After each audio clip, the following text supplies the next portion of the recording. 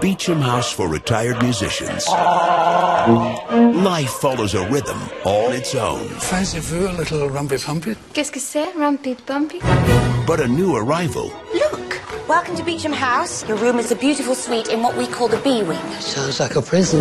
will change their tune. Boys, I know who it is. As large as life and twice as terrifying. I'm going to say something very rude.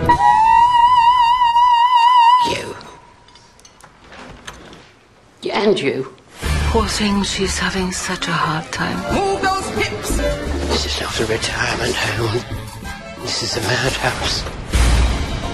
We have a serious problem. We can't make the gala into the hottest ticket in town. This house could collapse. We could lose it. We have four of the finest singers in English operatic history. I don't think I want to sing with Jean again. They were married once, but it didn't work out. We were different people then. I have a brilliant idea. What is it? Oh, I, I can't remember. What is it?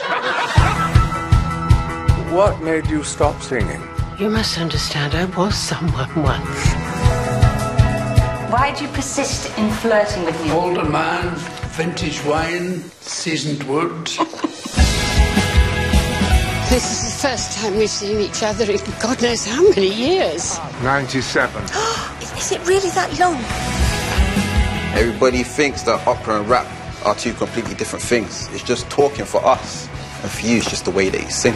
Their love of life is infectious. They inspire us.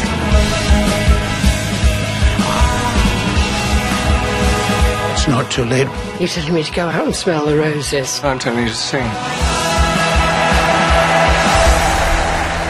I think you two are drunk. I think I possibly am, although I find it very difficult to tell the difference at this age.